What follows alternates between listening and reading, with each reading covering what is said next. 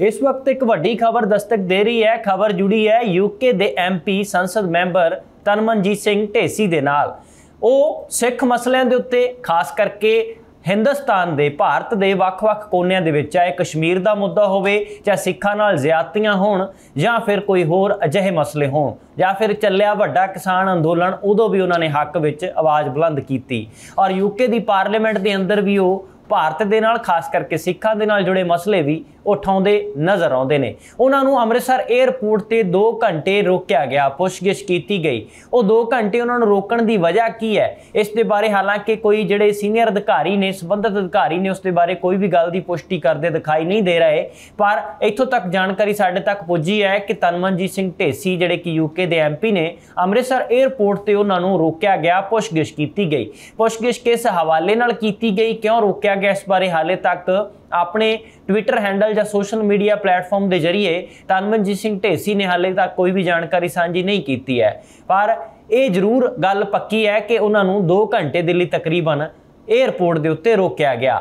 ਹਾਲਾਂਕਿ ਜਿਹੜੀਆਂ ਵੀ ਹਸਤੀਆਂ ਅਜਈਆਂ ਨੇ ਜਿਨ੍ਹਾਂ ਨੇ ਪੰਜਾਬ 'ਚ ਉੱਠ ਕੇ ਪੰਜਾਬ ਮੂਲ ਹੈ ਉਹਨਾਂ ਦਾ, ਪਰ ਉਹਨਾਂ ਨੇ ਵਿਦੇਸ਼ਾਂ ਦੇ ਵਿੱਚ ਸਿਆਸੀ ਤੌਰ ਦੇ ਉੱਤੇ ਕਾਮਯਾਬੀ ਹਾਸਲ ਕੀਤੀ ਹੈ ਜਾਂ ਆਪਣੇ ਬਿਜ਼ਨਸ ਖੜੇ ਕੀਤੇ ਨੇ, ਉਹ ਜਦੋਂ ਵੀ ਭਾਰਤ ਪਰਤਦੇ ਨੇ ਤੇ ਅਜਈਆਂ ਜਿਹੜੀਆਂ ਰੁਕਾਵਟਾਂ ਦਾ ਅਜਈਆਂ ਮੁਸ਼ਕਲਾਂ ਦਾ ਜਿਹੇ ਜਿਹੀ ਪੁੱਛਗਿੱਛ ਦਾ ਉਹਨਾਂ ਨੂੰ ਸਾਹਮਣਾ ਕਰਨਾ ਪੈਂਦਾ ਹਾਲਾਂਕਿ ਇਸ ਬਾਰੇ ਵਜ੍ਹਾ ਨਹੀਂ ਦੱਸੀ ਗਈ, ਪਰ ਇੱਥੇ ਤੁਹਾਨੂੰ ਇਹ ਦੱਸਦੀ ਹੈ ਕਿ ਤਨਮਨਜੀਤ ਸਿੰਘ ਢੇਸੀ ਦਾ ਜਿਹੜਾ ਪਿਛੋਕੜ ਹੈ, ਉਹ ਪੰਜਾਬ ਦੇ ਨਾਲ ਹੋਣ ਦੇ ਕਰਕੇ ਪੰਜਾਬ ਦੇ ਸਿੱਖਾਂ ਦੇ, ਸਿੱਖ ਭਾਈਚਾਰੇ ਦੇ ਜਿਹੜੇ ਮਸਲੇ ਨੇ ਉਹਨਾਂ ਦੇ ਉੱਤੇ ਉਹ ਵਿਵਾਕੀ ਦੇ ਨਾਲ ਆਪਣੀ ਗੱਲ ਰੱਖਦੇ ਨੇ।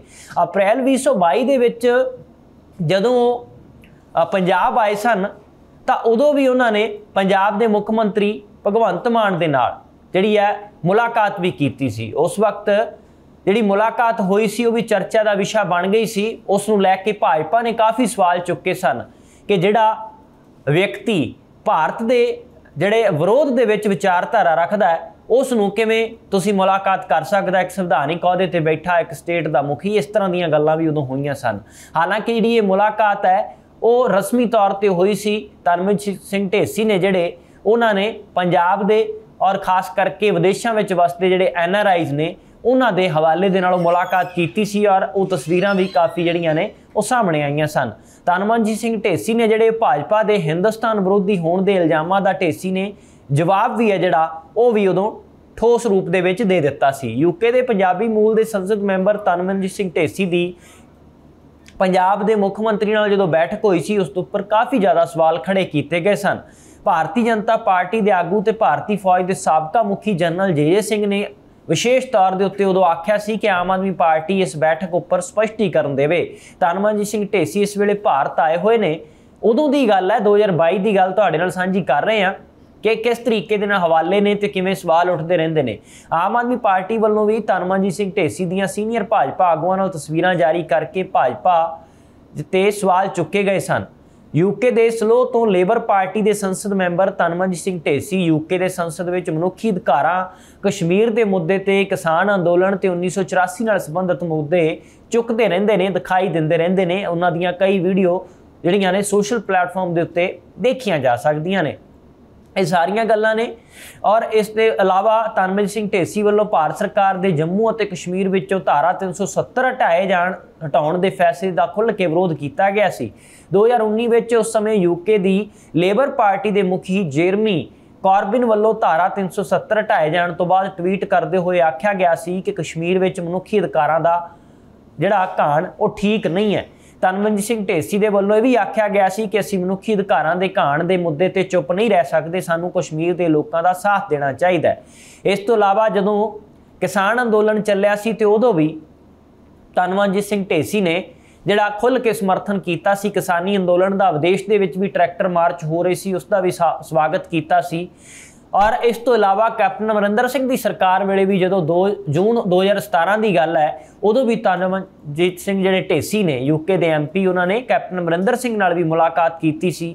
ਇਸ ਤੋਂ ਇਲਾਵਾ ਭਾਜਪਾ ਆਗੂ ਵਿਜੇ ਸਾਂਪਲਾ ਦੇ ਨਾਲ ਵੀ ਤਨ ਤਨਮਨਜੀਤ ਸਿੰਘ ਢੇਸੀ ਦੀ ਜਿਹੜੀ 2018 ਦੀ ਇੱਕ ਤਸਵੀਰ ਸੋਸ਼ਲ ਮੀਡੀਆ ਦੇ ਉੱਤੇ ਦਿਖਾਈ ਦਿੱਤੀ ਸੀ, ਉਸ ਦੇ ਬਾਰੇ ਆਮ ਆਦਮੀ ਪਾਰਟੀ ਨੇ ਵੀ ਸਵਾਲ ਕੀਤੇ ਸੀ ਕਿ ਕਿਵੇਂ ਇਸ ਦੇ ਉੱਤੇ ਚਰਚਾ ਹੋ ਰਹੀ ਹੈ। ਐਨਆਰਆਈ ਮੁੱਦਿਆਂ ਦੇ ਉੱਤੇ ਜਿਹੜੇ ਉਹਨਾਂ ਦੇ ਨਾਲ ਸੰਬੰਧਿਤ ਹੋਣ ਜਾਂ ਪੰਜਾਬ ਦੇ ਮੂਲ ਮੁੱਦੇ ਹੋਣ, ਪੰਜਾਬ ਦੇ ਹੱਕਾਂ ਦੀ ਗੱਲ ਹੋਵੇ, ਮਨੁੱਖੀ ਅਧਿਕਾਰਾਂ ਦੀ ਗੱਲ ਹੋਵੇ, ਤਾਂ ਉਸ ਨੂੰ ਲੈ ਕੇ ਉਹ ਬੋਲਦੇ ਰਹਿੰਦੇ ਨੇ।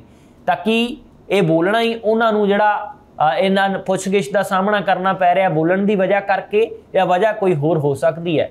ਕਿਉਂਕਿ ਜਿੰਨੇ ਵੀ ਸਿਆਸੀ ਹਸਤੀਆਂ ਹੋਣ, ਸੰਵਿਧਾਨਕ ਅਹੁਦੇ ਦੇ ਉੱਤੇ ਹੋਣ, ਜਦੋਂ ਭਾਰਤ ਜਾਂ ਪੰਜਾਬ ਪਰਤਦੇ ਨੇ ਤੇ ਉਹਨਾਂ ਨੂੰ ਜਿਹੜੀ ਇੱਕ ਇਸ ਨੂੰ ਰਸਮੀ ਕਹੀਏ, ਗੈਰ ਰਸਮੀ ਕਹੀਏ ਜਾਂ ਕੀ ਵੀ ਨਾਮ ਦਿੱਤਾ ਜਾ ਸਕਦਾ ਹੈ, ਪਰ ਪੁੱਛਗਿੱਛ ਜ਼ਰੂਰ ਜਦੋਂ ਅਜਿਹੀ ਹਸਤੀ ਦੀ ਹੁੰਦੀ ਹੈ, ਤਾਂ ਉਦੋਂ ਸਵਾਲ ਖੜੇ ਹੁੰਦੇ ਨੇ। ਇਸ ਤੋਂ ਇਲਾਵਾ ਪਿਛਲੇ ਦਿਨਾਂ ਦੇ ਵਿੱਚ ਨੀਆ ਦੀਆਂ ਜਿਹੜੀਆਂ ਰੇਡਾਂ ਪੰਜਾਬ 'ਚ ਪਈਆਂ, ਉਸ ਦੇ ਵਿੱਚ ਖਾਸ ਤੌਰ ਤੇ ਖਾਲਸਾ ਏਡ ਦੇ ਜਿਹੜੇ ਇੱਥੋਂ ਦੇ ਦੇਖਣ ਵਾਲੇ ਅਮਰਪ੍ਰੀਤ ਸਿੰਘ ਨੇ ਉਹਨਾਂ ਦੇ ਦਫ਼ਤਰ ਤੇ ਘਰ ਤੇ ਜਿਹੜੀ ਰੇਡ ਹੋਈ, ਉਸ ਨੂੰ ਲੈ ਕੇ ਵੀ ਕਾਫੀ ਸਵਾਲ ਉੱਠੇ। ਰਵੀ ਸਿੰਘ ਖਾਲਸਾ ਨੇ ਜਿਹੜੇ ਖਾਲਸਾ ਏਡ ਦੇ ਬਾਨੀ ਨੇ, ਉਹਨਾਂ ਨੇ ਇੱਥੋਂ ਤੱਕ ਕਹਿ ਦਿੱਤਾ ਕਿ ਜਿਹੜੀਆਂ ਏਜੰਸੀਆਂ ਨੇ, ਉਹਨਾਂ ਨੇ ਕਤਲ ਕਰਨ ਵਾਲਿਆਂ 'ਚ, ਫਰੌਤੀਆਂ ਮੰਗਣ ਵਾਲਿਆਂ 'ਚ ਤੇ ਸੇਵਾ ਕਰਨ ਵਾਲਿਆਂ 'ਚ ਕੋਈ ਫ਼ਰਕ ਨਹੀਂ ਸਮਝਿਆ।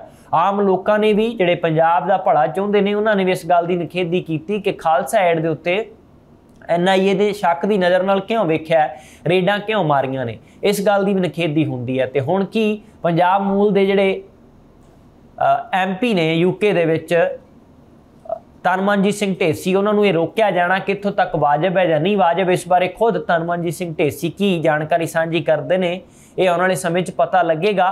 ਪਰ ਉਹਨਾਂ ਦੇ ਵੱਲੋਂ ਲਗਾਤਾਰ ਜਿਹੜੇ ਸਿਆਸੀ ਤੇ ਸਮਾਜਿਕ ਮੁੱਦਿਆਂ ਤੇ ਜਿਹੜੀ ਬਿਆਨਬਾਜ਼ੀ ਦਿੱਤੀ ਜਾਂਦੀ ਹੈ, ਹੋ ਸਕਦਾ ਹੈ ਉਸ ਨੂੰ ਆਧਾਰ ਬਣਾ ਕੇ ਜਾਂ ਜਿਵੇਂ ਜਿਹੜੇ ਬੋਲਦੇ ਰਹਿੰਦੇ ਨੇ, ਉਹਨਾਂ ਨੂੰ ਅਜਈਆਂ ਪੁੱਛਗਿੱਛ ਦੇ ਵਿੱਚੋਂ ਜਾਂ ਅਜਈਆਂ ਕਾਰਵਾਈਆਂ ਦੇ ਵਿੱਚੋਂ ਲੰਘਣਾ ਹੀ ਪੈਂਦਾ ਹੈ ਇਸ ਤੋਂ ਇਲਾਵਾ ਕਾਲੀ ਸੂਚੀ ਵਿੱਚ ਪੰਜਾਬੀਆਂ ਦੇ ਨਾਮ ਬਾਰੇ ਤੇ ਐਨਆਰਆਈ ਵਸਨੀਕਾਂ ਦੇ ਜ਼ਮੀਨੀ ਵਿਵਾਦਾਂ ਬਾਰੇ ਸੈਰ ਸਪਾਟੇ ਤੇ ਹੋਰ ਕਈ ਮੁੱਦਿਆਂ ਉੱਪਰ ਵੀ ਤਨਮਨਜੀਤ ਸਿੰਘ ਢੇਸੀ ਨੇ ਜਿਹੜੇ ਉਹ ਖੁੱਲ ਕੇ ਆਪਣੀ رائے ਰੱਖਦੇ ਰਹਿੰਦੇ ਨੇ ਇਸ ਜਈਆਂ ਗੱਲਾਂ ਦਾ ਉਹ ਜਵਾਬ ਦਿੰਦੇ ਰਹਿੰਦੇ ਨੇ ਹਾਲਾਂਕਿ ਉਹ ਬਰਤਾਨਵੀ ਜਿਹੜੀ ਪਾਰਲੀਮੈਂਟ ਹੈ ਉਸ ਦਾ ਹਿੱਸਾ ਨੇ ਪਰ ਉਹਨਾਂ ਦਾ ਕਹਿਣਾ ਹੁੰਦਾ ਹੈ ਕਿ ਮਨੁੱਖੀ ਅਧਿਕਾਰਾਂ ਦਾ ਘਾਣ ਜਿੱਥੇ ਵੀ ਹੋ ਰਿਹਾ ਹੈ ਖਾਸ ਕਰਕੇ ਭਾਰਤ ਜਾਂ ਪੰਜਾਬ ਦੇ ਅੰਦਰ, ਉਸ ਦੇ ਉੱਤੇ ਵੀ ਉਹ ਆਪਣੀ ਟਵਿੱਟਰ ਹੈਂਡਲ ਦੇ ਜ਼ਰੀਏ ਜਾਂ ਪਾਰਲੀਮੈਂਟ ਦੇ ਵਿੱਚ ਹਾਜ਼ਰੀ ਜ਼ਰੂਰ ਲਵਾਉਂਦੇ ਨੇ।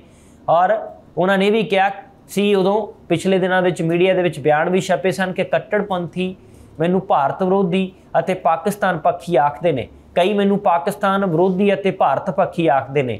ਮੈਂ ਇਸ ਬਾਰੇ ਕੁਝ ਨਹੀਂ ਕਰ ਸਕਦਾ। ਮੈਂ ਨੇਕ ਨੀਅਤ ਨਾਲ ਲੋਕਾਂ ਦੀ ਸੇਵਾ ਕਰਦਾ ਰਿਹਾ ਤੇ ਕਰਦਾ ਰਹਾਂਗਾ। ਇਸ ਤਰ੍ਹਾਂ ਦੀਆਂ ਗੱਲਾਂ ਉਹ ਕਰਦੇ ਰਹਿੰਦੇ ਨੇ ਜਦੋਂ ਤਾਜੀ ਸਰਕਾਰ ਬਣੀ ਸੀ, ਆਮ ਆਦਮੀ ਪਾਰਟੀ ਦੀ ਸੀ, ਤਾਂ ਉਹਨਾਂ ਨੇ ਮੁੱਖ ਮੰਤਰੀ ਭਗਵੰਤ ਮਾਨ ਦੇ ਨਾਲ ਚੰਡੀਗੜ੍ਹ ਨਿਵਾਸ ਦੇ ਵਿੱਚ ਇੱਕ ਬੈਠਕ ਵੀ ਕੀਤੀ ਸੀ, ਜਿਸ ਤੋਂ ਬਾਅਦ ਇੱਕ ਦਫ਼ਤਰ ਦੇ ਵੱਲੋਂ ਬਿਆਨ ਵੀ ਜਾਰੀ ਕੀਤਾ ਗਿਆ ਸੀ ਕਿ ਇਸ ਬੈਠਕ ਵਿੱਚ ਅੰਮ੍ਰਿਤਸਰ ਅਤੇ ਚੰਡੀਗੜ੍ਹ ਤੋਂ ਲੰਡਨ, ਬਰਵਿੰਗਮ ਅਤੇ ਹੋਰ ਸ਼ਹਿਰਾਂ ਨੂੰ ਸਿੱਧੀਆਂ ਉਡਾਣਾਂ ਬਾਰੇ ਬੈਠਕ ਵਿੱਚ ਚਰਚਾ ਕੀਤੀ ਗਈ। ਅਜਿਹੀਆਂ ਗੱਲਾਂ ਉਦੋਂ ਹੋਈਆਂ ਸਨ ਪਰ ਉਹ ਚਰਚਾ ਦਾ ਵਿਸ਼ਾ ਰਹਿੰਦੀਆਂ ਨੇ, ਪਰ ਹੁਣ ਜਿਹੜੀ ਪੁੱਛਗਿੱਛ ਅੰਮ੍ਰਿਤਸਰ 에ਅਰਪੋਰਟ ਤੇ ਤਨਮਨਜੀਤ ਸਿੰਘ ਢੇਸੀ ਯੂਕੇ ਦੇ ਐਮਪੀ ਤੋਂ ਕੀਤੀ ਗਈ, ਉਸ ਦਾ ਵਜ੍ਹਾ ਕੀ ਹੈ? 2 ਘੰਟੇ ਜਿਹੜੀ ਪੁੱਛਗਿੱਛ ਕੀਤੀ ਗਈ, ਹਾਲਾਂਕਿ ਉਸ ਤੋਂ ਬਾਅਦ ਇਹ ਵੀ ਜਾਣਕਾਰੀ ਮਿਲੀ ਹੈ ਕਿ ਉਹਨਾਂ ਨੂੰ ਜਿੱਥੇ ਉਹ ਜਾਣਾ ਚਾਹੁੰਦੇ ਸੀ, ਉਹਨਾਂ ਨੂੰ ਜਾਣ ਦਿੱਤਾ ਗਿਆ। ਇਸ ਦੇ ਬਾਰੇ ਤੁਸੀਂ ਕੀ ਸੋਚਦੇ ਹੋ? ਕਿਉਂ ਅਜਿਹਾ ਹੋ ਰਿਹਾ ਹੈ ਕਿ ਪੁੱਛਗਿੱਛ ਕਰਨੀ ਜਿਹੜੀ ਰਸਮੀ ਤੌਰ ਤੇ ਠੀਕ ਹੈ, ਪ੍ਰਸ਼ਾਸਨਿਕ ਤੌਰ ਤੇ ਜਾਂ ਫਿਰ ਜਾਣਬੁੱਝ ਕੇ ਜਿਹਾ ਹੁੰਦਾ ਹੈ? ਇਸ ਬਾਰੇ ਤੁਸੀਂ ਕੀ ਕਹਿੰਦੇ ਹੋ? ਤੁਹਾਡੀ ਕੀ رائے ਹੈ ਤੁਸੀਂ ਆਪਣੇ ਸੁਝਾਅ ਵੀ ਸਾਂਝੇ ਕਰ ਸਕਦੇ ਹੋ ਫਿਲਹਾਲ ਬਣੇ ਰਹੋ ABC ਪੰਜਾਬ ਦੇ ਨਾਲ